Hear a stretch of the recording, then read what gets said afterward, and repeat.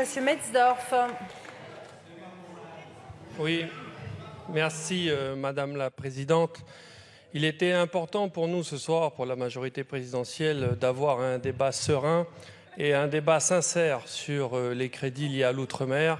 En témoigne euh, votre présence, Madame la Présidente, en témoigne la volonté de discussion et de compromis du ministre des Outre-mer.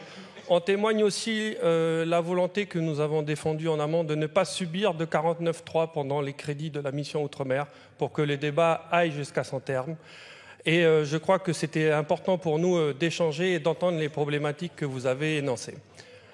Alors, bien évidemment, ça sera compliqué pour nous, vu le nombre d'amendements de l'opposition, de voter pour les crédits de cette mission. Nous étions partis, pour voter contre, mais euh, devant les discours que vous avez prononcés, euh, on va dire constructifs et consensuels euh, envers l'ensemble des bancs, nous nous abstiendrons seulement. Merci Madame la Présidente. Merci beaucoup.